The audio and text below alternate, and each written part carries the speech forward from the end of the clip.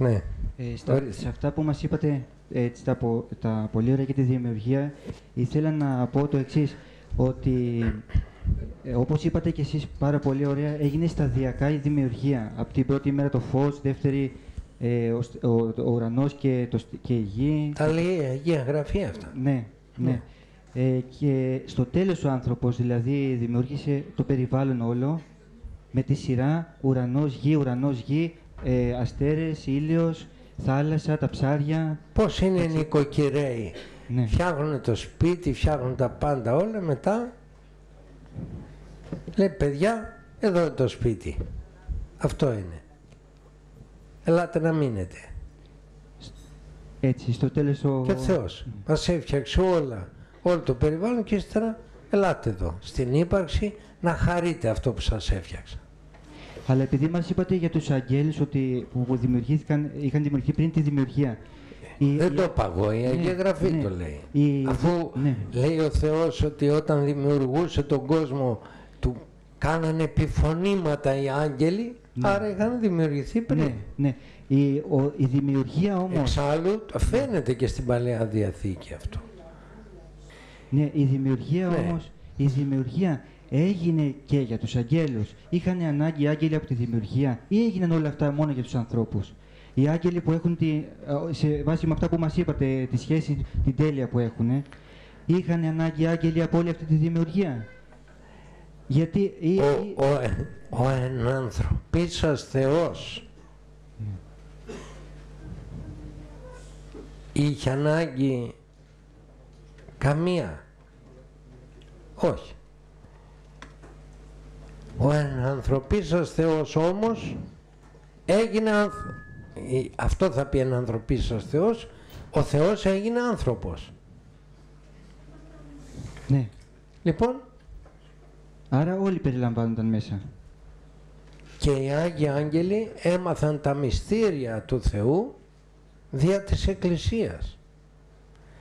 Το ότι ο Θεός τον οποίο υμνούσαν σε ένα περιβάλλον το οποίο δεν μετεβάλλεται γιατί αυτοί έμεναν αμετάβλητοι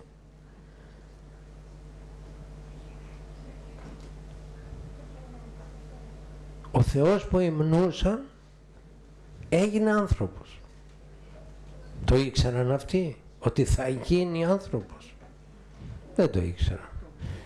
Το έβλεπαν όταν ερχόταν η κατάλληλη στιγμή για το κάθε τι. Ήξεραν ότι θα γεννηθεί ασπόρος από την Παναγία μας ένας άνθρωπος όχι όπως οι άλλοι που γίνονται με σπέρμα ανθρώπινο.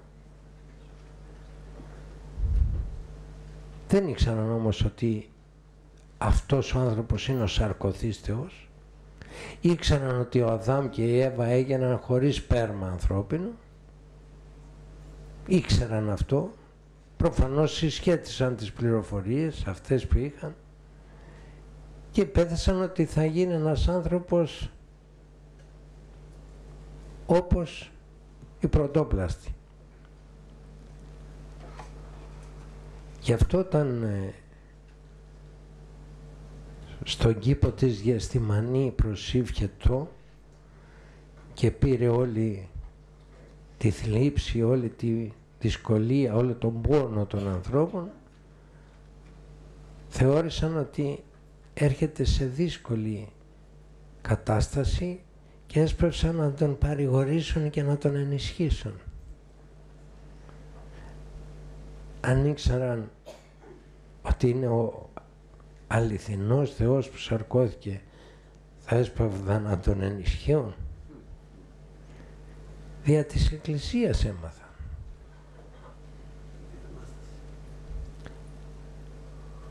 Και όταν αναστήθηκε είδαν ότι ανεστήθη. Ιησούν ζητείτε των Ναζαρινών των εσταυρωμένων ηγέρθη ούκε εστιν όδε. Είδε ο τόπος όπου έθηκαν αυτόν. Δεν τους είπε ο Θεός αναστήθηκε. Σιγά σιγά σιγά όταν ανελήφθη δόξη και κάθισε εκ δεξιών του πατρός τότε είχαν πλήρη την γνώση. Πολλές φορές είπε ότι είναι ο Μεσσίας. Εγώ είμαι ο Λαλόνση είπε και στην ε, Σαμαρίτιδα.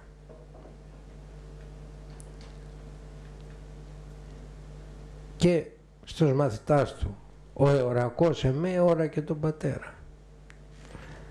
Αλλά ότι είναι ο, το δεύτερο πρόσωπο της Αγίας Τριάδος που σαρκώθηκε αυτό το έμαθαν δια της Εκκλησίας και μας το λέει και ο Άγιος Απόστολος Παύλος ότι και οι πουράνιες δυνάμεις εγνώρισαν τα μυστήρια του Θεού διά της Εκκλησίας.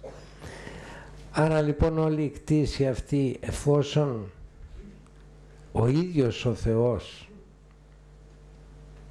έγινε άνθρωπος μπορούμε να πούμε ότι η κτήση είναι αδιάφορη για τους αγγέλους. Και η κτήση δεν είναι αυτή που γνωρίζουμε εμείς. Αυτό που γνωρίζουμε εμείς από την κτήση είναι η κατάδια που έχουμε οδηγήσει την κτήση νομίζετε ότι αυτές οι πολυκατοικίες θα μείνουν στον αιώνα; Αυτά δεν τα έφτιαξε ο Θεός. Όπως δεν έφτιαξε τις θρησκείες και όλα λέει θα αφανιστούν